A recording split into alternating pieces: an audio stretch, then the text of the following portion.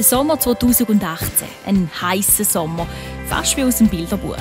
Auch für unsere drei neuen Gesichter bei Menschen in der Ostschweiz, Sommermenschen.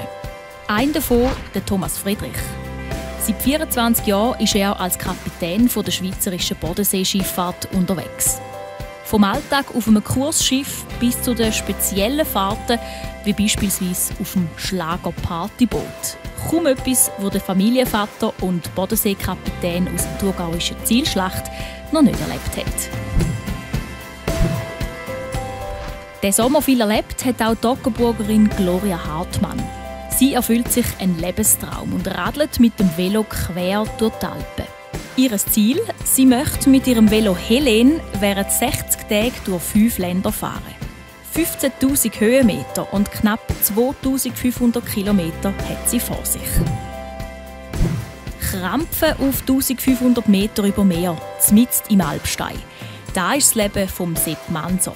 Seit 30 Jahren ist er Bergwirt auf der Meglisalp und damit Herzblut. Der 54-Jährige führt das Gasthaus schon in der fünften Generation.